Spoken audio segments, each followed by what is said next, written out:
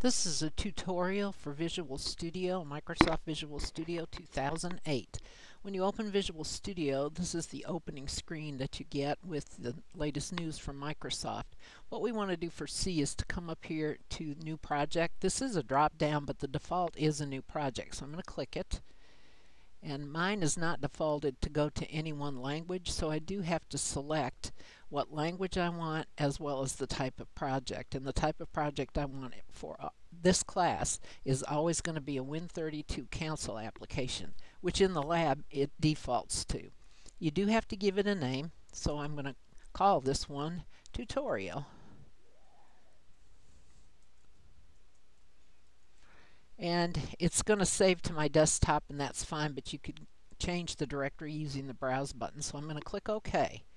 This is the screen that seems to cause the most confusions. You have to click on Application Settings and then select Empty Project because we want an empty code window, an empty project to start with. If you don't do that, then you end up with other resources in the program and it doesn't execute correctly for our purposes. So I click Finish and it's building the project folder on the desktop. So now I have in my Solution Explorer over here on the right um, my header files, resource files, and then my source files. And what we need to do is add a source file. To do that, there's another button on the toolbar, or you can also go to Project, Add New Item. But this is a drop down too for Add New Item. But the default is that it's going to open the window for me. So I'm just going to click on it and again, mine is not defaulted to the right program because I use it for several different languages. So I actually have to select the correct program. It is Vis Visual C, and the program type that I want is always going to be for this class C++ file with the .cpp extension. You can name it the same as the project. I tend to name a main because each C program has a main function. And then, uh, again, it's going to go into my project folder, so I just click Add. Now I'll get an empty screen where I'm ready to actually type in my code. The first statements at the top have a pound sign and the word include followed by a less than and the name of the header file which we'll dis discuss in detail as we move through the semester. So I'm going to put two header files in this one. So I just hit enter at the end of the first line and now I'm going to put in the second header file which is string. The first header file, IOStream, handles the basic input and output stream from the keyboard, the default device, to the monitor, the default device. The string header file allows me to have variables uh, that have a data type of string because string is not part of the original core of C or the kernel.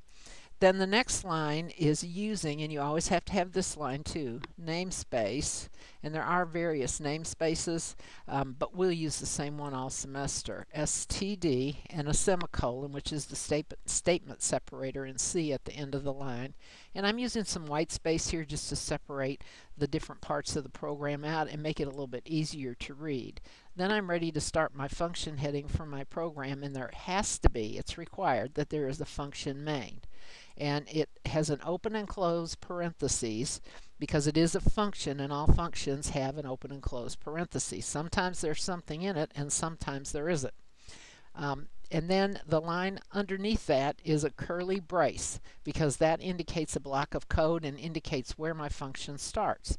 Notice too that C automatically does some indentation for me and I'm going to declare a variable of string, I can't spell today, string name so what I've done there is to declare a variable called name to store a string. And then I'm going to prompt my user to actually key in the data. So what is your name is what I'm asking them. And I'm again including some space here because I don't want the cursor to run right up against my text. So I've got a blank there after the question mark. And then cin, which is my operator for getting input from the keyboard. Cout is the operator to place my display or anything that I want to output on the screen and cin gets it from the keyboard. Cout uses the insertion operator which is two less than symbols and CN uses the extraction operator which is two greater than symbols. So what I want to put here is the variable. So I've prompted my user asking them what their name is and from the keyboard they type their name and cin is going to read that. Then I'm going to do another cout and I'm going to say a literal string welcome to CIS 251 and a blank space there and then I separate things in my list with the insertion operator. So I'm going to print the person's name, which is stored in name, and then I'm going to use a manipulator, ENDL, endl, which means end of line. Then all functions have to have a return statement, and I could put any integer here that I wanted to. 0 is typically what you see because I declared this as an integer function. Main is an integer. And then I have to have a closing brace. And that's all of our program. Now, I could have declared this as a void function and just had a plain return statement. Um, there are several different ways to do it, but this is the way it's done in the textbook, so this is the way I've showed you here. Now there are two steps. The first step is to build or compile the program which means take this source code that's written in C and turn it into machine code. There's actually an intermediary step in that, but for our purposes, we're just changing this code into machine code. So I click on the build menu and I can build solution. And down here at the bottom, it tells me if I have any errors. And in this case, I don't. Once I see the word linking, I know that the program has actually compiled correctly and there are no syntax errors. So to run the program, I want to go to debug on the menu and I want to start without debugging. If you start with debugging, you aren't going to be able to see your output because the command window disappears. So I'm going to start without debugging and the window comes up and my window background is turned to white and my text black.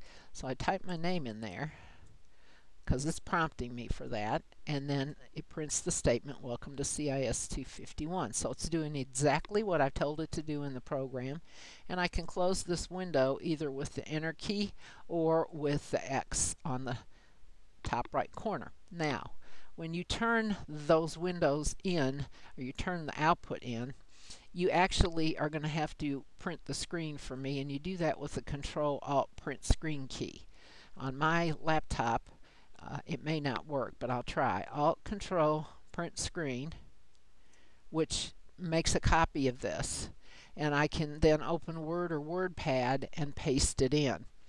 And then I would also copy and paste the code here by selecting it all or by doing control A and copy it where you can right click and copy control C or go to the edit menu and choose copy put it on the clipboard and then drop it into the Word or the WordPad document. And that's the document that you'll actually submit to me. So to get a copy of your output window, it's Control Alt Delete and then you'll paste that into a document.